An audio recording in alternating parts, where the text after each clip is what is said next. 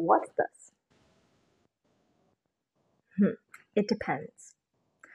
For Americans, this is a movie theater. For the Brits, it's a cinema.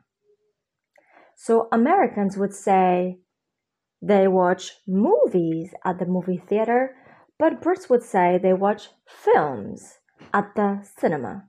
So make sure not to confuse both. Don't say, I watch movies at the cinema. It's better to say, I watch films at the cinema because both films and cinema are connected to British English, whereas movies and movie theater are connected with American English. So next time you'll remember. Remember, this is a movie theater and this is a cinema. We watch movies at the movie theater and we watch films at the cinema.